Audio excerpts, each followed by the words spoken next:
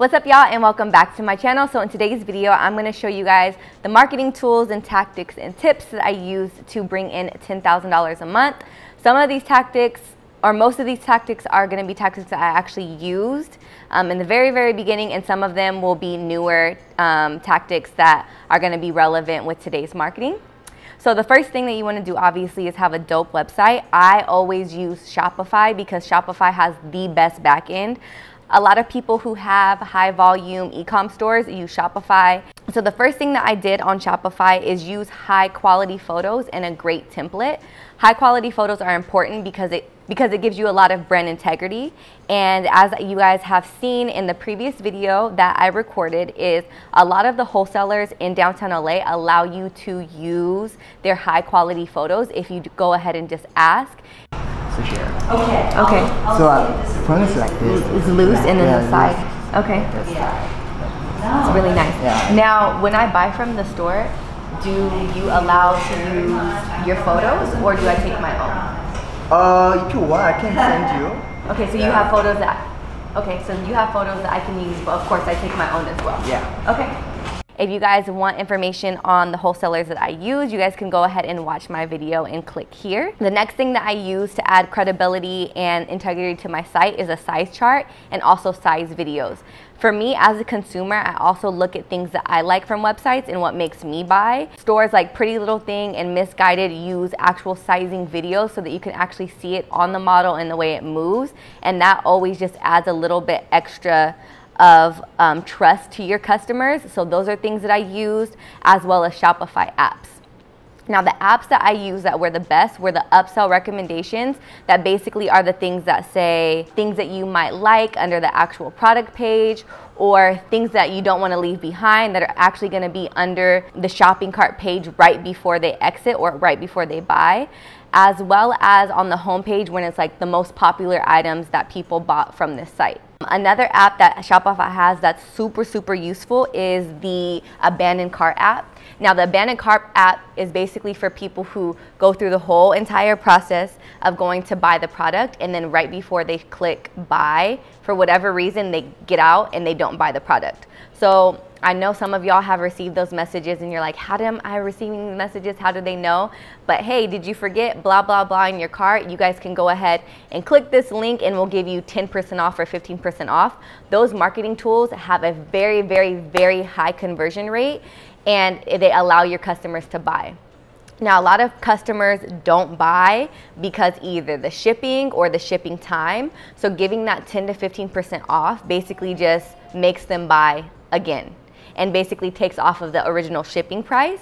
And actually, before you bring anybody to your website, the first thing that you want to, you're want to do, which I did not do in the past, um, because I didn't know about this, is but you're want to add a Facebook pixel. Now, what is a Facebook pixel? A Facebook pixel is a code that you actually put on your site, and it tracks every single thing that your consumers do. A lot of you guys might see little pop-ups like adding cookies. If you accept cookies, cookies is basically a tool where are able to retrack you down when you go on a, on a website. And I'm sure every single person watching this video has gone on a website, looked at something for a while, thought something was really, really cute, and then they go on Instagram or they go on Facebook or they go on Snapchat and they're scrolling and they see that exact same item. So that all roots for, from, um, I'm not gonna say all because I'm not sure if there's a different method of doing this, but that basically roots from a Facebook pixel. A Facebook pixel will track everything that your consumers do. So after you get um, traction on your store and you develop enough data and analytics from your Facebook pixel, you're gonna wanna run Facebook ads and Instagram ads if you guys do have the budget to work with that. Facebook and Instagram ads may seem annoying to consumers, but it generates a lot of sales. It's generated a lot of sales for me in the way that you're able to target an 18 year old girl in Los Angeles who likes pink bodysuits. Like you can literally market somebody down to color that they like um, as far as clothing goes, um, people that they like, um, size, um, interests, if they like beach things, if they like sports things, and those those interests are important because if you have a beach-based product like a bikini, then you can attract all the people who are interested in that interest in Facebook. If you like somebody who's more focused into sports, then you can market products for sports, whether that's workout things, things of that nature to that exact person. Books that help me understand consumer behavior and why people buy are Decoding the New Consumer Mind by Kit Yarrow, Why We Buy by Paco Underhill, and Buyology. These are the books that are going to be very helpful for people who don't know anything about marketing and just understand what makes people buy, how to price your items, how to set up your website, colors to use, and things like that. If you guys have never tried listening to audiobooks to basically enhance your knowledge on business, you can get your first audiobook for free by going to www.audible.com slash findguru or you can text findguru to 500 500. Audible Originals are exclusive audio titles created by celebrated storytellers in worlds as diverse as literature, journalism, theater, and more. So getting into the next phase in how you price your items. After you've basically understood why consumers buy, you can set your pricing accordingly. One super, super, super big tip is adding the shipping cost to the overall cost of the product. This has helped so much um, with my abandoned cart app because nine times out of 10, if a consumer sees something online for $20, they to pay $20. I know we all been there. We go, we see that it's $20, we go to the shipping, and we nine times out of 10 exit out because of the shipping cost. One tip that I've learned is I always just add the shipping cost to the overall cost of the product so that when people see $20, they're actually only spending $20. Having something as free shipping over X amount of dollars has also increased um, overall sales on the website and have also increased my conversion rates. Another thing that I touched on in my most recent video is private labeling. Private labeling, just to give you an overview, is something that was very beneficial for me because it's a marketing tool after the product is already sold. Adding your branding to your clothing will go such a long way because it allows other people to see your label on a product. They basically look at your company as an established brand, whether you are new or an OG in the game. So in my last video, I showed you guys my experience in shopping at Hey Babe. So what I'm gonna do is actually show you how I would private label this exact item. So I'm gonna take this item out of the bag and it, you know, it comes with the tissue paper, the bag, and everything marked.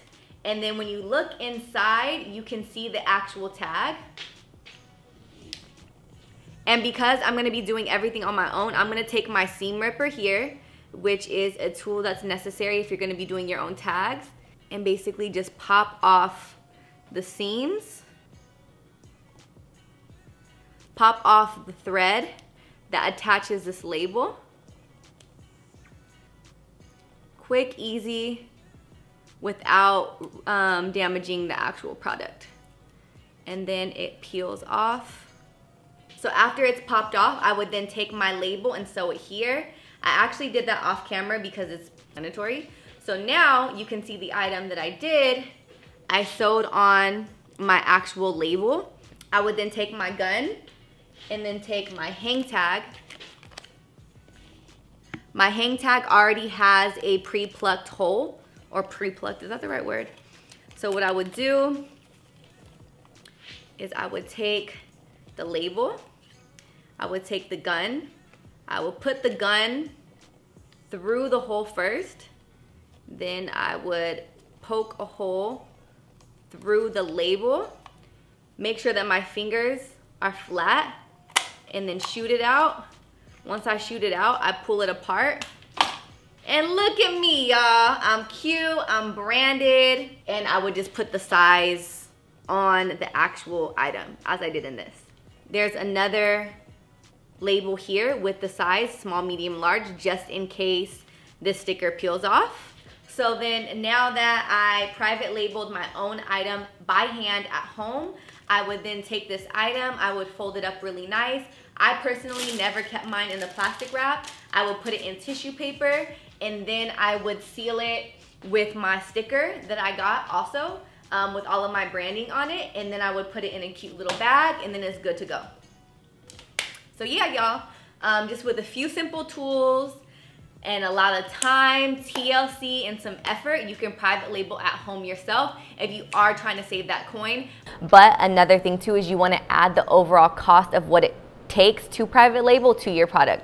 For me, private labeling costs anywhere from $2 to $3. So if you buy something like this bodysuit that I used in one of my videos for $12, you want to add maybe $3 for shipping and maybe $3 for private labeling, as well as the bags that you use, the tissue that you use, and the stickers. So if this was me selling this product, I would say the cost of this item is actually $18, and then you want to add anywhere from 10 to $15 to that price and sell that item on your store to also give you wiggle room if you do have any sales or if you have buy one get one 50% off or if you're running any other advertisement that would basically give an additional discount.